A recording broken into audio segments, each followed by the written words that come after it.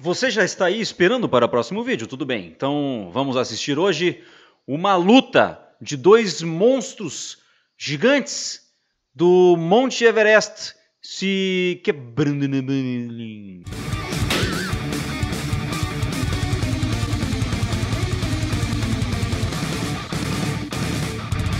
Olá, eu sou o Caio e você está na CFX Sports, o seu canal de lutas. Bem-vindos para mais um vídeo. Vamos assistir uma belíssima luta de trocação do início ao fim entre dois gigantes Andy Hug versus Sam Greco. Literalmente um dos combates mais hardcore que eu vi nos últimos tempos e vou trazer ele agora para vocês aqui, eu vou assistir junto. Se vocês gostam do quadro de assistir combates aqui na CFX, deixa o seu like, é muito importante. Não se esqueça, obviamente, de se inscrever e depois, só depois que você for inscrito, senão não vai dar para fazer isso clica dentro do sininho, escolhe a opção todos para que você peça ao YouTube que envie todos, obviamente, todos os vídeos para o seu celular e o seu computador assim que você clicar nessa opção, beleza? E para quem tiver curiosidade aí sobre os meus treinos e sobre a vida fora do canal do YouTube, Instagram Caio, Instagram Caio CFX, acessa aí que estamos começando a postar novos conteúdos lá também.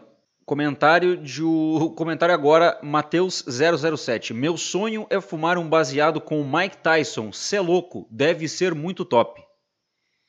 Bom, depois dessa, vamos então assistir esta bela luta em 3, 2, 1, play. Andy Hug na esquerda, Sam Greco na direita. Combate aí pra lá de pesos pesados. É, o que, que eu vou querer dizer agora? O... eles podem ter esse shape sem tomar anabólicos? Pode. Mas normalmente a gente sabe que os pesos pesados de hoje eles têm um pouco menos de definição. Eles são os caras com mais gordura corporal devido ao peso. O Hug já começou aí com esse giratório na perna, tentando pegar no calcanhar.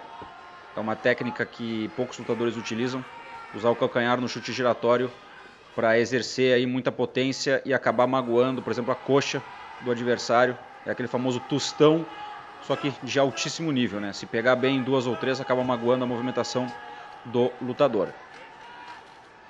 Então, o que eu quis dizer isso com, com o shape desses caras? Que nessa época, alguns anos atrás, é, era, digamos assim, mais fácil fazer aí o uso de, de algumas substâncias para aumentar o desempenho nos combates ou até em outros esportes.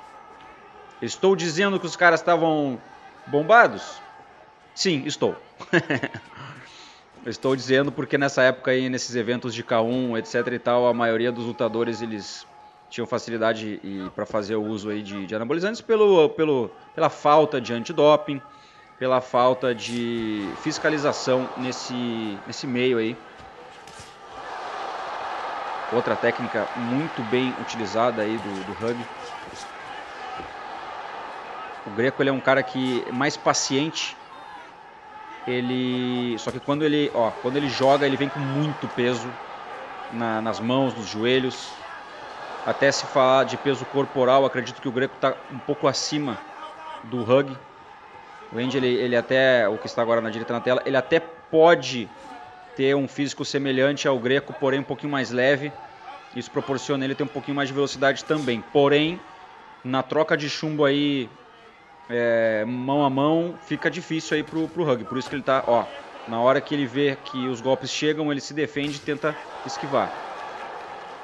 De fato, trocar porrada aí com o Greco com 110, 115 quilos, acredito que pelo shape que ele tá nessa luta aí, não é bom negócio. Dentro desses eventos de trocação, galera, tem muitos caras aí, não sei se esses que vocês estão vendo agora é de conhecimento aí de, de vocês, muito ou não. Tem caras como Alistair Overeem, como o Israel Adesanya, como vários caras aí, o Mark Hunt, uma galera aí conhecida lutou nesses eventos. Não exatamente, não precisa ser exatamente esse mesmo aí onde o Greco e o Andy Hug lutaram, mas eventos de trocação de pesos pesados, haviam muitos GPs, haviam muitas lutas icônicas que a gente pode trazer para vocês de K1, que é essa regra que vocês estão vendo acontecer agora. Para alguém que está sendo pego desprevenido, Caio, o que, que é K1? Digamos que seja o kickboxing, dentro disso, qual é a diferença do Muay Thai, por exemplo?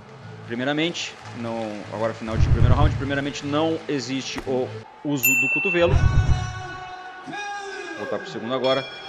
Seguindo então, só para explicar para quem é pego desprevenido, não existe o uso de cotovelo dentro do clinch, que é quando um adversário segura o outro ali no pescoço, obviamente para largar os joelhos na linha de cintura ou na cabeça. É permitido um joelho e não é permitido quebrar a postura do adversário trazendo ele com as mãos para perto, né, é, de encontro do seu próprio joelho. Então, falta de cotovelo e dentro do clinch um joelho sem poder quebrar a postura do adversário e alguns golpes, por exemplo, os giratórios. Esse golpe que o, que o Hug jogou agora de cima para baixo com o calcanhar tentando pegar no rosto do adversário, ou às vezes até no trapézio, no pescoço. É mais permitido uma variedade bem maior de golpes no K1, na regra do K1.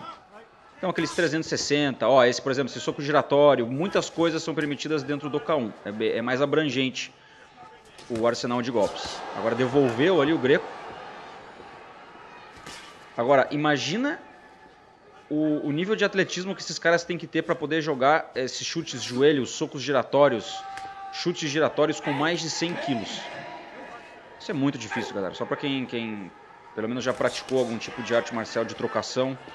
Até mesmo não precisa ter lutado oficialmente, subido num ringue lutado, mas dentro da academia, se vocês fazem aí Paô, é, o, o, famoso aparador, ou inclusive manopla apenas de boxe, de 3, 5 rounds, sem, sem parar, vocês, vocês sabem que isso é muito difícil, então imagina 100 quilos aí, lutando de igual para igual, como está acontecendo agora, joelho, soco, nossa, mais uma pedrada agora do Greco. O cara tem que ter um nível de atletismo extremamente alto. Agora trabalhando um pouquinho mais, vamos entrar numa conversa mais sobre o, a técnica dos dois. Agora que eu já expliquei, digamos, para vocês aí uma diferença do Muay Thai para esse K1, kickboxing, muita gente não entende que é basicamente a mesma coisa. Dentro do kickboxing, para quem é mais assíduo e quem é mais esperto, tem variações. Tem low kick, tem umas tem, tem regras diferentes, mas o K1 em si são essas regras que eu passei para vocês agora que é o que a gente está vendo acontecer aqui. Outra coisa que se costuma ver, como vocês estão percebendo, é um volume de mãos maior do que no Muay Thai. Logicamente, como eu disse, com a falta do cotovelo no, no K1, porém a sequência de boxe costuma, costuma ser, claro que há exceções, mais rápida, mais dinâmica, com mais volume dentro do K1. Então dá para se dizer, óbvio, com exceções, como eu disse, que o lutador de kickboxing de alto nível, ele costuma ter um boxe mais alinhado, a parte de mãos. E se a gente fosse falar sobre quais as qualidades do Muay Thai que o lutador de K1 poderia não ter, nossa senhora, que pedrada! Agora isso foi. Como é que vai contabilizar isso? Já, já sigo falando para vocês aí. Entendi o que, que aconteceu. A gente tá, a gente tá pegando. a gente tá indo pro terceiro round, mas parece que não deu o tempo exato. De fato, a gente tem que contar ali por curiosidade para ver se pegou exatamente o mesmo tempo do, do primeiro round. Parece que ele tinha sido um pouquinho mais curto. Essa travada também, pessoal, agora lembrando, essa travada de perna quando o adversário chuta e segurar com as mãos e, e bater, não é permitido no K1. O juiz deveria ter chamado a atenção ali. É permitido no Muay Thai, catar a perna, segurar a perna do adversário e é, quando a gente absorve o chute e poder contragolpear.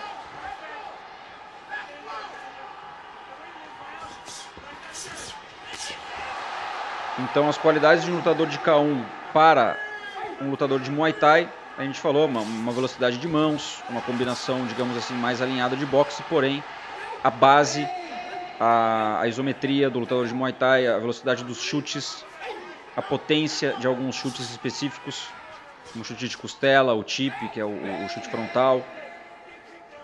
E dá para se dizer que na maioria das vezes é mais aprimorada também.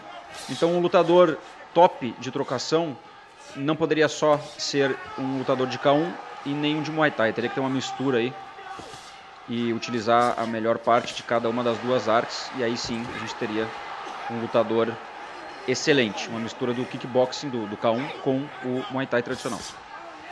existem caras que conseguem migrar, inclusive, para as duas artes, tá? Se vocês quiserem que a gente traga lutadores que, que trabalham dessa maneira, agora só escorregou ali o, o End Hug.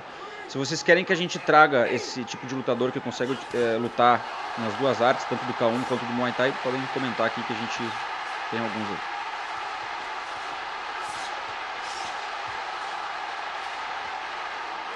Faz uma sequência espelhada ali, uppercut, cruzado, low kick. Movimentou bem agora o Hug, está mais cansado, parece, do que o Greco. O Greco com uma base boa. Guarda sólida, vamos ver se consegue aguentar. Tá com um pequeno sangramento no nariz agora. Mais uma joelhada aí na linha de cintura do, do Hug. Exatamente isso.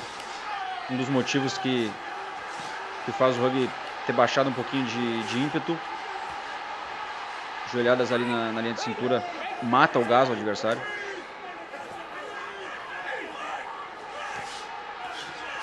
Cara, o que mais surpreende é o gás desses dois caras com esse peso. Impressionante.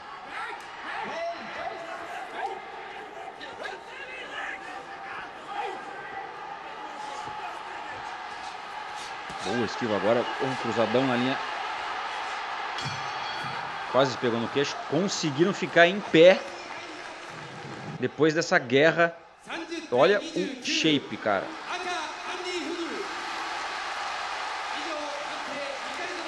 Hug vencedor. Decisão. O que, que, vocês acharam desse combate, galera? K1 de pesos pesados, dinâmico, os caras não cansaram, por mais que tenham tido bons golpes ali na linha de cintura de ambas as partes, o gasto se, se falou mais alto. E aí, se os caras, será que os caras estavam tomando um suquinho ali ou não estavam tomando, estavam completamente naturais? Se você tem dúvidas aí, comenta aqui embaixo. Deixe seu like, é importante pra gente saber que vocês curtem nosso conteúdo. Inscreva-se, ative o sininho. E se você quiser me seguir no Instagram, está aparecendo aí na tela. A gente se vê amanhã em mais um vídeo na CFX Sports, seu canal de lutas. É, não sou bom de caneta, velho. Tento fazer. Não dá.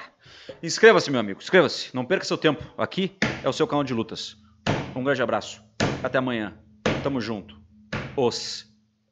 Os. Os.